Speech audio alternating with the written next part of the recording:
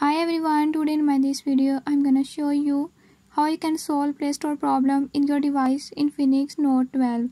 In this device Infinix Note 12 if you're having any issue like your Play Store is not opening or is not working I'll tell you a few tips and tricks that you can use to fix it.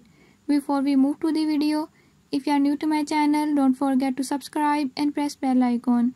Watch complete video and learn how you can fix it.